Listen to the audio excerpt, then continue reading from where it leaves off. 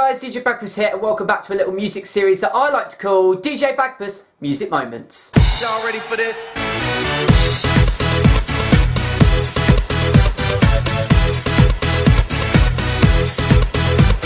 And ladies and gentlemen, I'm a little bit deflated right now and this episode of DJ Bagpuss Music Moments is not going to feature any music in it because I want to talk to you about, as you can see from the title, about how this series is really difficult to do and I'm going to have to wrap up the series in June and I was going to give you guys in this episode the top 20 best 80 songs in my opinion and then also showcasing you music from the 1960s, music from the 1970s and then going into music from the 1980s. I've done this before on DJ Bagpuss Music Moments when I gave you a compilation of some of the best music released from the 1990s and then our musical experiment that we conducted about music in the 21st century which is also now is not available to see on my channel. It's been blocked.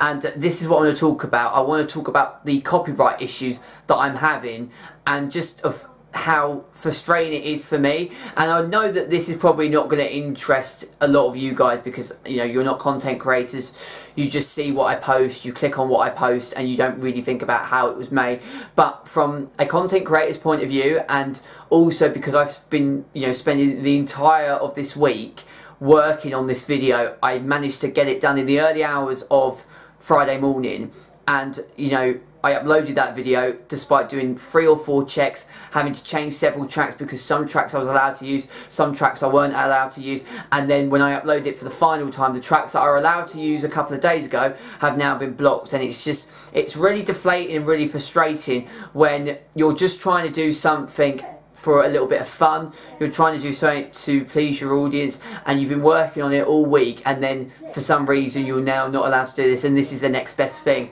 I think that copyright in general, there's such a grey area surrounding it and you know, when I became a YouTuber in 2017, I didn't really have a, a big concept and I didn't really know how to use copyright music in YouTube videos and to be allowed to do that because you see it in lots of YouTube videos and you sit there and think well unless are they paying for the royalties or you know how are they using copyright music? And you know there's a lot of questions surrounding that debate and topic and whether some people's intentions of using copyright are they good intentions or bad intentions? There is a lot of debate surrounding it.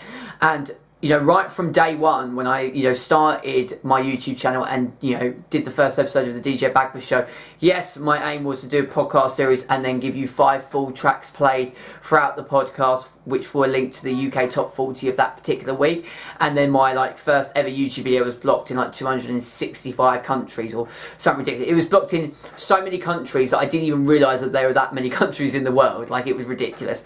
And as I've like done more YouTube, I know how to use copyright music in my YouTube videos. At least I thought I did. And it seems that in the last kind of month, two months, three months or so, that it's become even tougher because how it works, just as kind of, you know, for me to briefly describe to you of how copyright music works. When you upload anything to YouTube, the database of YouTube. So um, it's the, the content system. And this is a automated algorithm which has basically every single song that you can think of in the world, or most songs anyway, are on the YouTube algorithm. When your video is uploaded to YouTube, the algorithm scans all of the files on your YouTube video and if there is a match so say if you use a song in your YouTube video and the algorithm matches the wavelengths of that song to wavelengths that are in your YouTube video, they'll give you a copyright claim. Now this doesn't necessarily mean that you're going to get a copyright strike as a, as a YouTuber. There is a difference between ID that is matched up in the content ID system and getting a copyright strike. When I started YouTube, I thought I was going to get like arrested for using copyright music. It isn't. There is you know, there's a lot of different ways that it can be looked at as content ID or copyright strike. And um, most of the time, copyright owners are just singling out content ID. They don't just slap on copyright strikes for no reason at all. In fact, they are now getting more and more lenient. And that is the reason why over the last two years I've been able to use YouTube music. So the copyright owners who own the music in question, they are ultimately the ones that decide on who can use their music in their YouTube video. And Most of the time, the copyright owners are happy to allow content creators such as myself to use music in my YouTube video because they receive money. So when somebody uses a music that they own in their video, the money goes to the copyright owners, not the you know the content creator. And you know I've not earned a single penny from YouTube so it's irrelevant anyway. But there are occasions that if you were earning money from your YouTube channel that you can actually share the money that you get from your YouTube video with the copyright owners. Most of the time 100% of any money that is earned when people click onto the video will go to the copyright owner. If you look at my channel, I'm such a small YouTuber that the money that the copyright owners will get from me using copyright music in my YouTube video is, is pennies. It, it, really, you know, they're not going to get anything at all, so it's not even really worth it. But that is a form of permission. We give them the money, all of the money that it could be potentially made on a YouTube video, they get all of, of those funds and they monetize it and they essentially that's what they're getting out of it and it's you know it's good for a copyright owners because you know imagine about the thousands of people that are using copyright music in their YouTube video. They've got all of, of that money coming in. So they're making more money as a brand and as a business. And that is just if you're if you're owner of a copyright label, instead of slapping on copyright strikes for loads of YouTubers that may or may not use your YouTube music, just allow them to use it, but then you get all of the funds from it. I mean, you know, that just seems smart and sensible. Copyright owners can block the YouTube video worldwide, which means nobody can access it, or they can essentially just say, oh, we're going to give you a copyright strike if you use it. That third one, the copyright strike is quite rare. Normally they'll either do one or two things. Either they'll allow you to use it and then they get all of the money, or they'll block it worldwide, or they'll only block it in certain countries. Every country is different. What I have found is that recently I've had, I mean I've had videos like the top 20 90 songs, or the top 10 90 songs, but there were 20 in the video in question, has been monetized by the copyright owner. So it's on my channel and all of the money from that video goes to the copyright owners. Not a lot of money, but all of the views and all the people that have clicked onto that video, the copyright owners get money because I've used music in that video. My first ever episode of DJ Bagpuss Music Moments didn't get a copyright claim. But my musical experiment that I did for music in the 21st century, it was monetized by the copyright owners for about eight or nine months, and then the copyright owner then decided to block it worldwide, so you can't view it, even though it is still on my channel, you guys can't see it.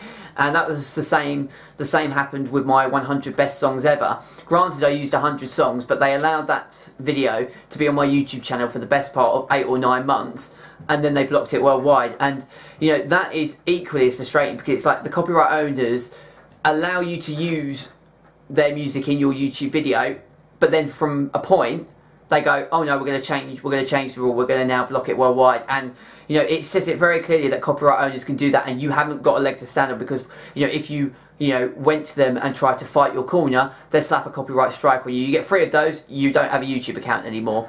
So it's really, really frustrating, particularly most recently with the episode that I've been working on all week, which I was so excited to show you guys. What I do is when I'm making the video and I've got all of the music and I've put it into a editing folder, I do it in a separate project to the final project. So then I will render that and upload it to YouTube, set it as private to make sure that I can upload it and that there's no issues with copyright because, you know, imagine getting right to the end of a video, you're just about to upload a video, you've told people that it's on the way and then you find out that the video has been blocked worldwide and I had to change five songs because they were blocked worldwide but the rest of the songs that I used in the most recent episode of DJ Bagpuss Music Moments they were absolutely fine so it was just going to be monetized by the copyright holder and they were going to get all of the money from the video once I had uploaded the video.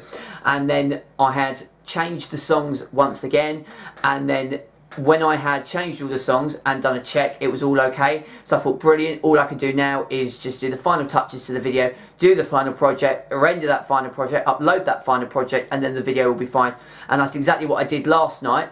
Came onto my YouTube account this morning just to make sure that it was all okay, and it's now been blocked worldwide and only 24 hours previously one of the songs was monetized by the copyright holder and now it's been blocked worldwide. So you know I'm not gonna spend any more time changing the songs for then it to be blocked once again. Like it is frustrating because like I said I've spent the best part of a week working on this but it just seems that like our copyright holders do they not understand the term fair use? Like I get it. There are people out there on YouTube that literally just copy either a song or a movie or a television show and they upload it and they make money from that and that is illegal. What I'm doing is under fair use. I'm, you know, giving you guys 10 seconds of multiple tracks. I'm doing it to showcase my opinion. And, you know, fair use, I mean, fair use is also a grey area because what constitutes fair use? What your understanding and opinion of fair use may be, may be completely different to my opinion and what I think fair use is and what it, you know, deems as. So, it's just frustrating if you're trying to do a music series and you can't do that because of copyright, then you can't do a music series. But I've done it in the past, like I was able to work out that like if you use 10 seconds of a song, it doesn't get picked up in the algorithm, but now it does. So I think the YouTube algorithm has changed and copyright holders change their thoughts and feelings on a day-to-day -day basis and ultimately that is just as frustrating as it gets because like I said, you're sitting there and you're thinking to yourself, well, what am I meant to do? I'm trying to do a music series and I can't do a music series because of copyright.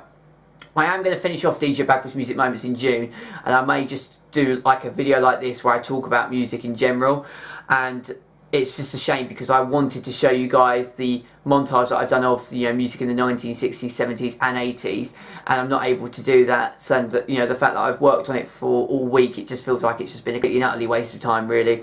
Um, so you know apologies that you're not able to see that. And uh, you know let me know your thoughts and feelings down in the comment section below to copyright and what your thoughts and feelings are because it just seems that like you know the copyright holders know that you know, I'm not making any serious money. I'm not doing anything that is going to tarnish their reputation. And they allow me to use music in their videos for eight or nine months, and then they change it straight away. It just it doesn't seem very fair at all. Please make sure to leave a like on the video if you've enjoyed, subscribe to the channel if you're only around here, and check out my other great content as well. And until next time, this is DJ Bagpuss sign out. Take care, and I shall see you all later. Take care, and I shall see you all very, very, very soon.